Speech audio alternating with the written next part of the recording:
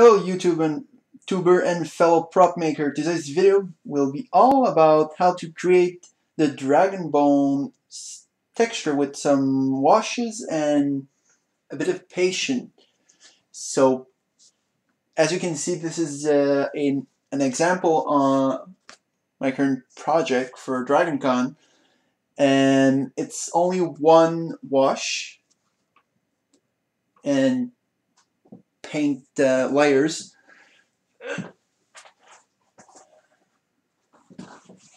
You get a pretty good example on the bracer I did earlier. There's like uh, four washes and painting on this one. And we're to start with the first one basically the technique you're gonna repeat over and over to just reach the that bone like texture. So we get here, that's not done yet.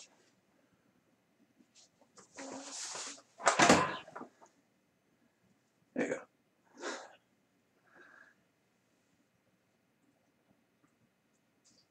So, first of all, we're gonna start by highlighting all the decrease of places where you can have like dirt buildup and pretty much all dark area. So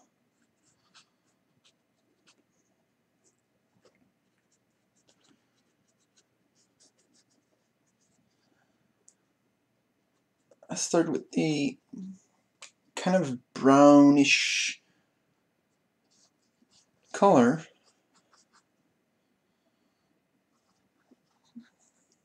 that I've mixed up earlier.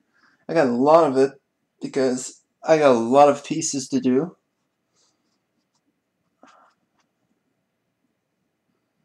And that mix is gonna uh, be useful for all the other color because everything's going to be based on this one.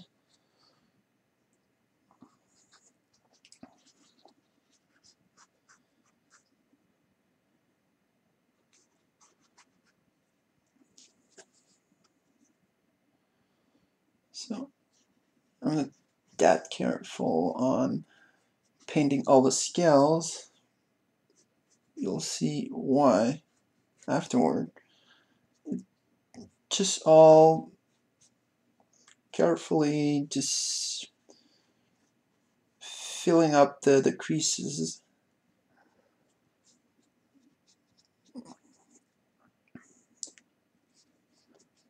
you won't have to add up too much afterward.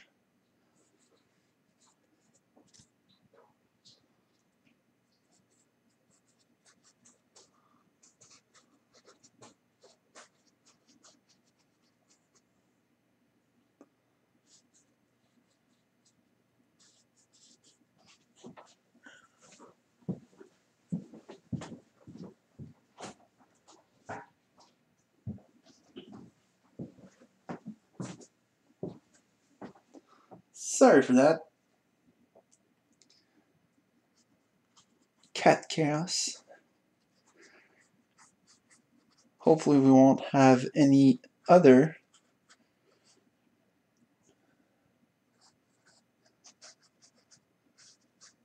interruption.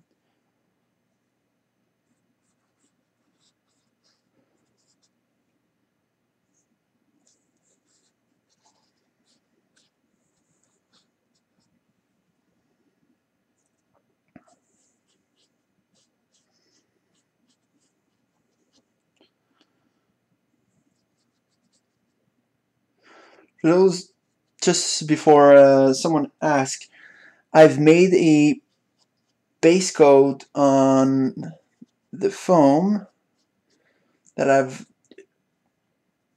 kind of cook. Actually, I use my soldering iron to seal off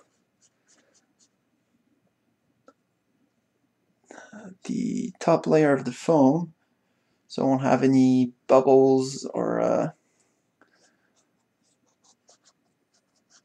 the foam is going to be soaking up a lot of paint. So basically it's surface paint. to get the edges.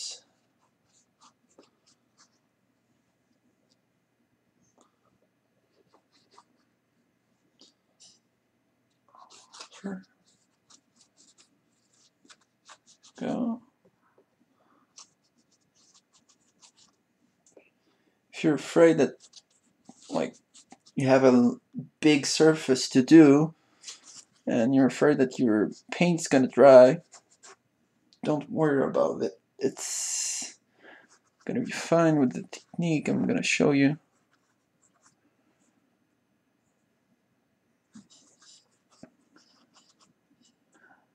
And by the way, this is acrylic.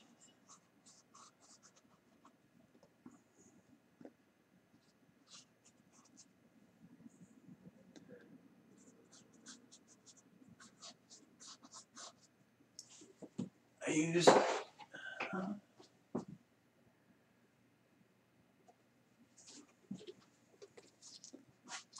oh, there you go. I use basic uh, from uh, you can find it at Michael. Pretty easy. It's six dollar for uh, the small one, like this one, or the big one for 11 or 12, if I remember right. And I, except for like when I do a lot of big surface with the same color, I usually use like basic color, red, blue, yellow, black, and white. Like I do all my uh, mix by myself, thanks to my wife that he taught me how to uh, do all those mixes. And here you go. So, all your lines, all your creases have been filled up with uh, the paint. And time for, so for some washes. So, take a sponge, basic sponge, you put some water on and basically run down with the sponge and some water.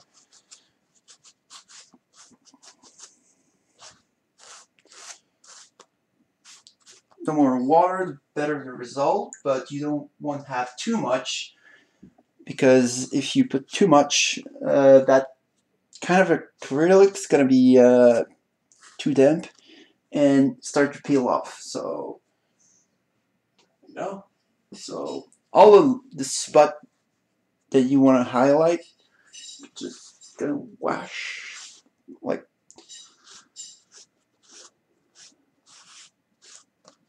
take a towel and just remove all the surplus paint like this.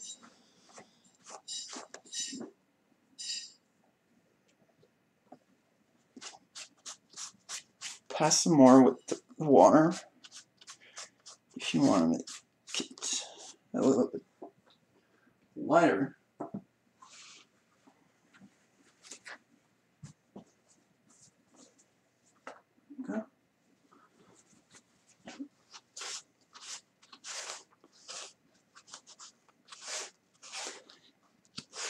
And keep in mind that if you want to have like all those creases, keeping the, the paint and stuff go the same way as the crease the the same way as the creases because if you go the other way you're gonna move, move all the paint inside.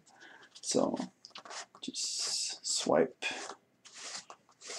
the excess paint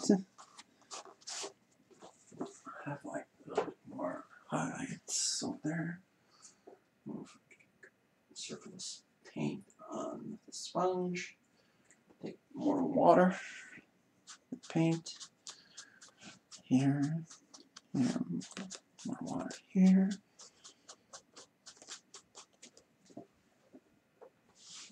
Don't forget all the edges of the, the armor is going to be more dirty because this is the part where Oh, all the dirt's going to clumps up and accumulate.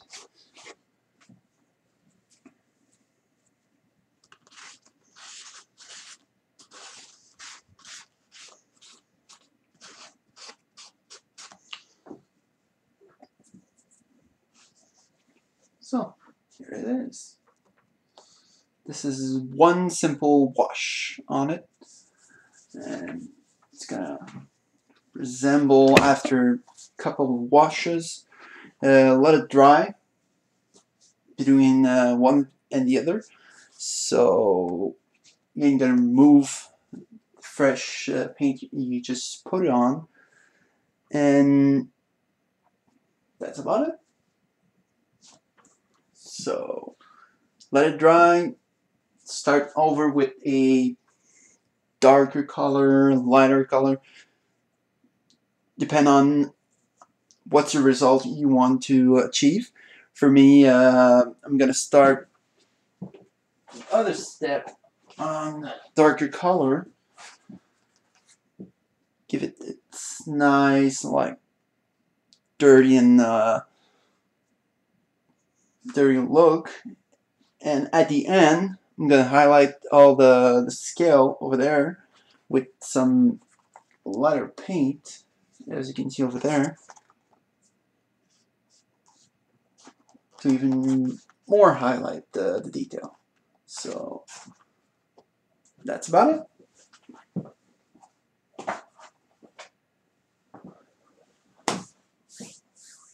So see you next video, I guess. So if you have question,